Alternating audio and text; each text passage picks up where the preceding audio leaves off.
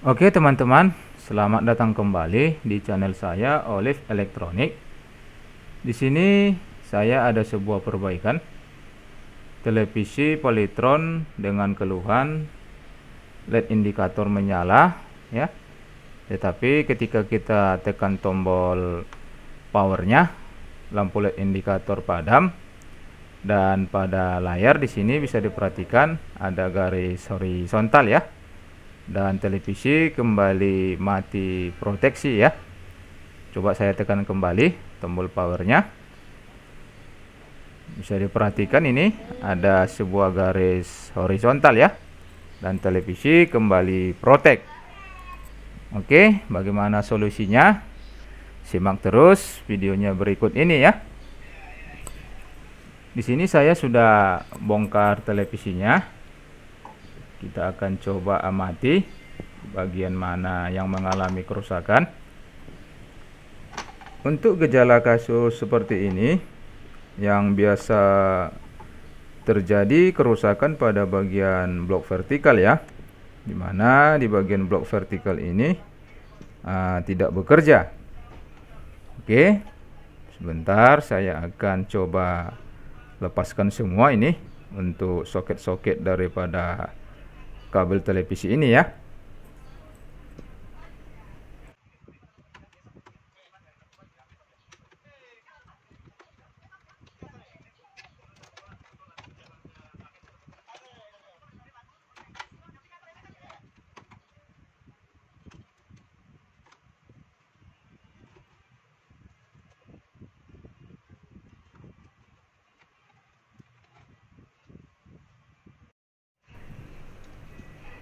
Oke, sekarang kita akan coba ukur untuk tegangan daripada televisi ini.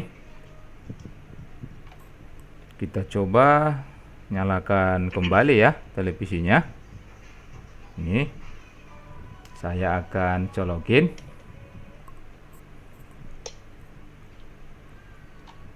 Kemudian ini bisa diperhatikan tuh LED indikatornya sudah menyala merah ya.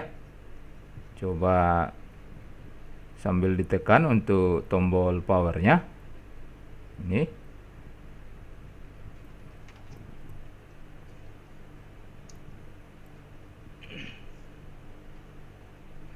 Dan kemudian di sini saya akan coba mengukur tegangan daripada IC vertikalnya. Ini untuk tegangan di bagian plusnya ya di sini terukur 31,8 volt ya. Agak over ya. Tegangan untuk plusnya di sini over yang harusnya 12 hingga 15 volt. Ini bisa diperhatikan untuk minusnya di sini terukur tegangannya sekitar 16 volt ya. Sementara di bagian plusnya terukur di sini 33 volt. Dia cukup naik signifikan ya. Jadi ini adalah merupakan penyebab daripada bagian vertikal ini tidak bekerja ya. Dan bisa dipastikan untuk IC vertikal ini mengalami kerusakan ya.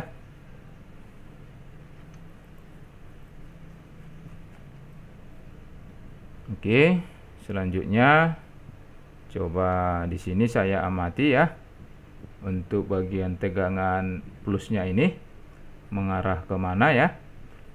Dan biasa di televisi polytron seperti ini untuk di bagian plusnya uh, terhubung ke bagian B plus 115 voltnya ya. Melalui dioda resistor ya. Ya terhubung ke tegangan 115 volt.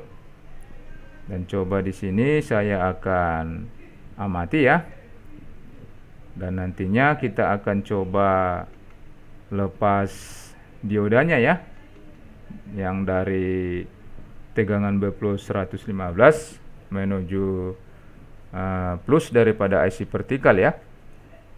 Coba saya amati terlebih dahulu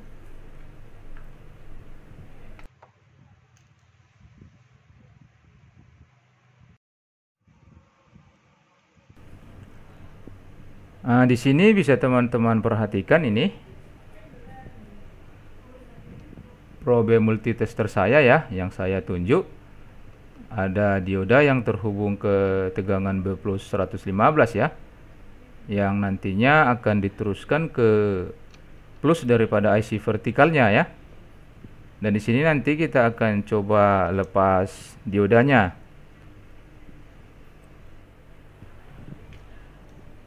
Oke sebentar ya. Saya akan melepaskan sebuah dioda ya yang terhubung daripada tegangan B ini. Di mana penyebab daripada tegangan untuk bagian plus IC vertikal ini menjadi over ya. Jadi kita coba lepas aja untuk mengatasi ya daripada tegangan IC vertikal ini uh, melonjak hingga mencapai 33 volt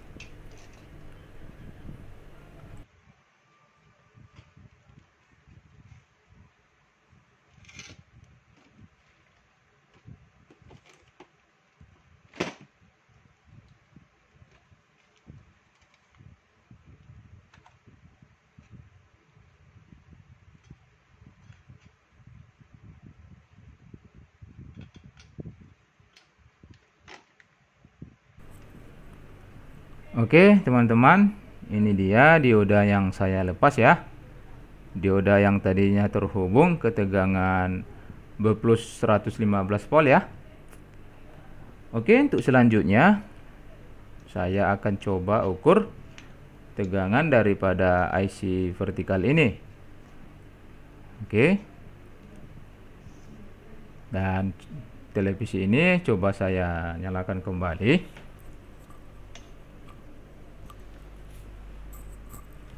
Oke, sambil diukur ya di bagian plus daripada tegangan nasi vertikal ini. Oke, di sana terlihat ya, terukur dia 26 volt ya. Masih tetap tinggi ya. Oke. Untuk solusinya coba ya. Saya akan buang terlebih dahulu ya muatan daripada elko pada IC vertikal ini ya sebab tegangan sebelumnya adalah 33 volt. Masih menyimpan ya. Dan di sini kembali coba kita ukur. Kita ukur dan sambil dinyalakan ya. Ini bisa diperhatikan ya. Di sana tegangannya sudah terukur 16 volt ya. Ini bisa teman-teman perhatikan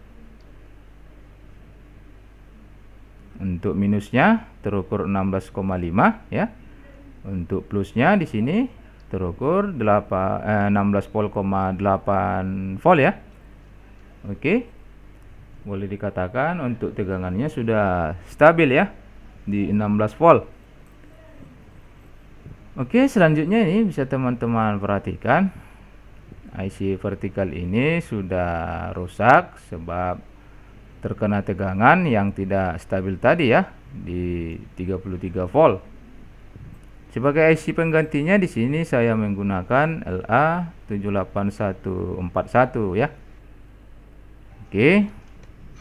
Saya akan pasang terlebih dahulu untuk IC vertikal penggantinya.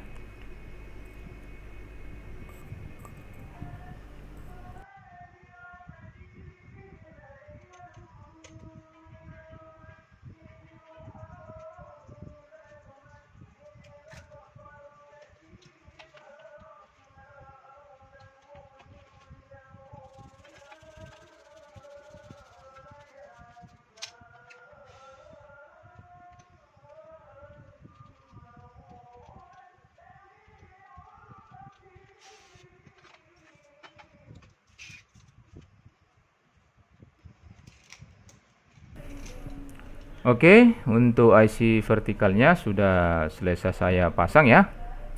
Dan di sini saya coba kembali nyalakan ya, sambil kita ukur untuk tegangan IC vertikalnya. Oke, televisi ini sudah standby dan kita tekan tombol powernya.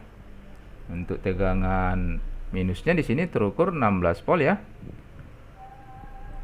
Dan untuk tegangan plusnya kita akan ukur. Di sini terukur 15,7 volt. Oke untuk B plusnya 111 volt. Dan televisi ini sudah menyala ya sudah menyala. Dan saya akan coba rapikan kembali. Dan coba juga kembali kita nyalakan ya. Dan ini dia ya hasilnya televisi ini sudah kembali normal ya. Jadi demikian video kali ini. Semoga video ini bermanfaat. Dan bagi teman-teman yang menyukainya silakan diajukan tombol like nya ya. Sampai jumpa di video berikutnya